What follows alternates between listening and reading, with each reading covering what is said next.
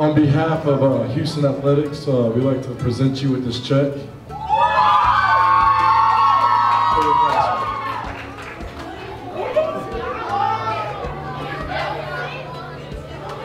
I am very overwhelmed and very overjoyed to be able to celebrate this with the students that I serve. It's all for these kids, and I'm just speechless, I'm really speechless, and very much surprised.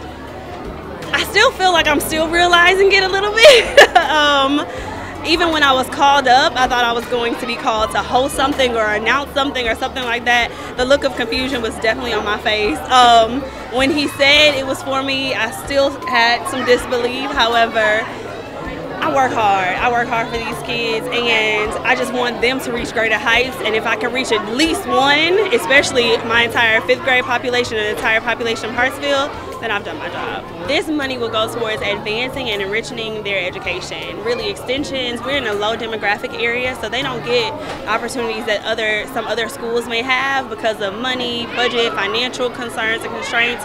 So it is my charge to be able to bring them the things they wouldn't otherwise have. So this money will go towards um, new technology, new experience, and just everything to enrichen their education and ignite their passion in learning. I'm so overwhelmed.